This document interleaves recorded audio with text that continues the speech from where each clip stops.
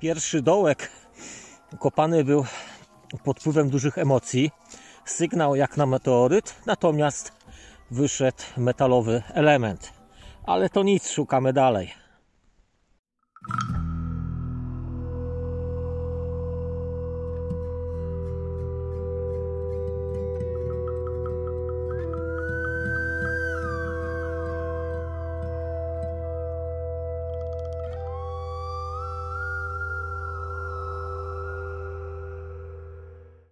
Ten już jest droższy, ten jeszcze droższy jest, a na przykład Łowicz, takiej samej wielkości, jest jeszcze droższy.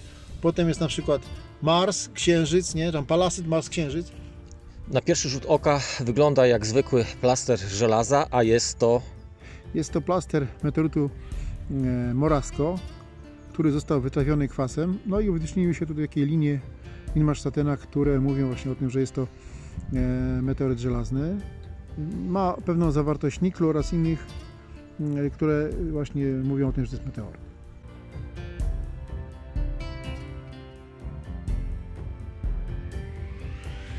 Jak znaleźć meteoryt? Jest jakaś na to rada?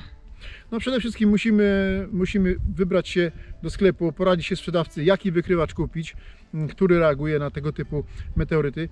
Nie musimy kupować meteorytu, który jest drogi, natomiast możemy przynieść kamień magnetyczny, który reaguje na magnes, e, przyjść do sklepu i sprawdzić, czy dany wykrywacz reaguje na ten magnes. Jeżeli reaguje, na pewno znajdziemy również tym wykrywaczem meteoryt.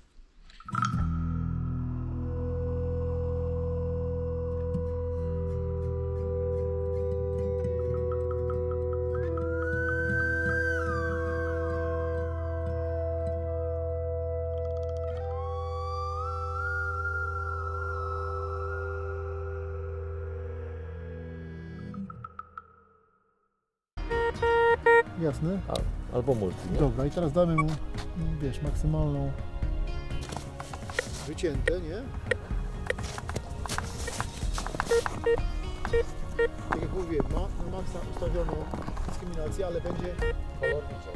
kolory będzie widział, nie? Te większe zresztą. Yy, przede wszystkim yy, o ołowiu w górę, nie? Tam, tam poleci, weźmy to z chłopaki.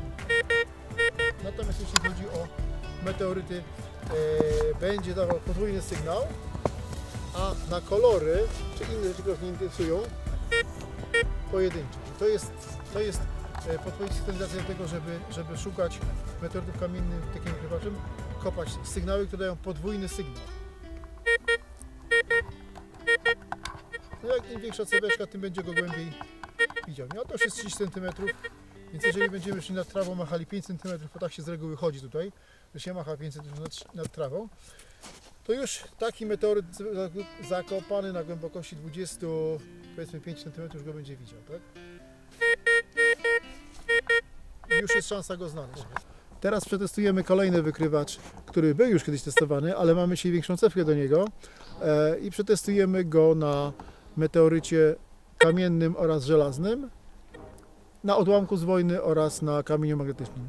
Jest to wykrywacz Golden Mask Pro 4 pracujący na 18 kHz w trybie pracy z grunt balansem manualnym i automatycznym.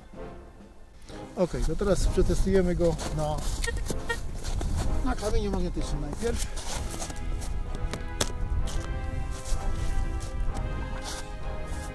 Kamień magnetyczny.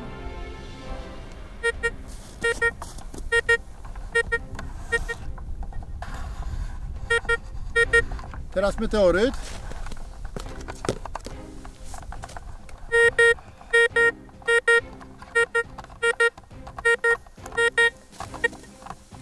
Dwie informacje o tym wykrywaczu. Pierwsza informacja. Na kamieniu magnetycznym daje nieco krótszy sygnał dźwiękowy, owszem podwójny, ale nieco krótszy i ma dużo mniejszy zasięg. Natomiast na meteorycie daje dużo mocniejszy sygnał, e, dużo głośniejszy, o dłuższej płynności i z dużo wyższej wysokości ten obiekt jest e, widoczny przez ten wykrywacz. Natomiast mamy ustawienia takie, że mamy włączoną dyskryminację, mamy e, ustawiony grunt ręczny i w ten sposób trzeba go po prostu ustawić, żeby reagował na kamienie magnetyczne i meteoryty.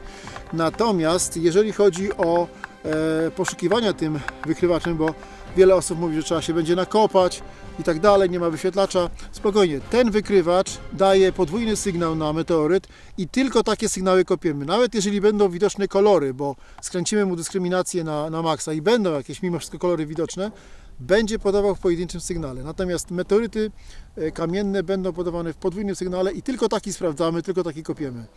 E, I może to być tylko kamień magnetyczny, natomiast e, warto jest to sprawdzić. Natomiast mamy 80-90% przedmiotów, które są w gruncie wyeliminowanych za pomocą sygnalizacji dźwiękowej. Ten wykrywacz na meteorycie żelaznym ma bardzo ładny e, zasięg w trybie dynamicznym. Podobnie jak w innych wykrywaczach, może reagować na, mimo wszystko po ustawieniach, może reagować na kolory. Natomiast jeżeli podniesiemy sondę wykrywacza dużo wyżej, nie będzie tych drobnych śmieci oraz kolorów widział, będzie widział dużo większe e, obiekty mm, żelazne, głębiej zakopane, na przykład meteoryty Morasko i w ten sposób tego typu wykrywaczem możemy szukać takich meteorytów, a pomimo tego, że jest to wykrywacz analogowy, nie będziemy kopać niepotrzebnych dołków. Także jest to bardzo głęboki wykrywacz, spokojnie można nim szukać mm, meteorytów żelaznych typu Morasko i taki wykrywacz również polecam. Ładny model, naprawdę. Żeby sprawdzić o ile jest głębszy, trzeba by go zakopać, ale jak chcesz to możemy zmienić.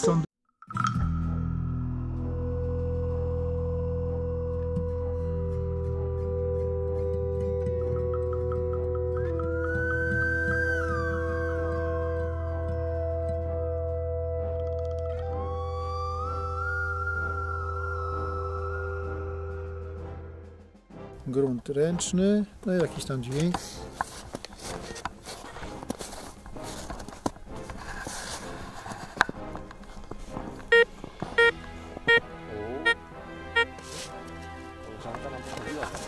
No.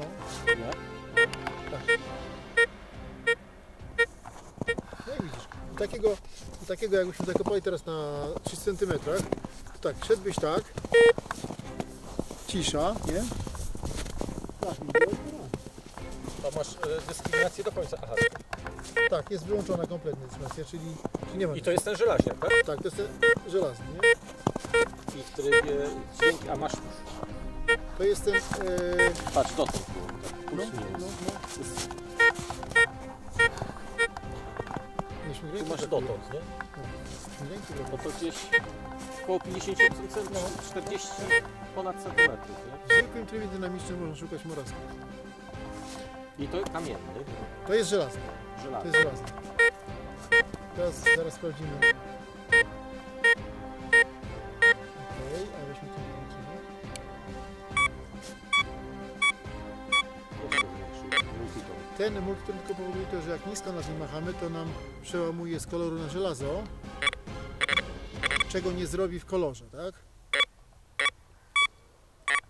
Więc jak go już wykopiemy, to możemy się zorientować, czy to jest na przykład kawałek aluminium, jakiś stop, czy inne rzeczy, bo będzie dawał nam wysoki ton. Natomiast jeżeli nam, będzie nam się przełamywał żelazo, to znaczy, że nie jest to kolor, tylko jest to raczej obiekt idący w żelazo.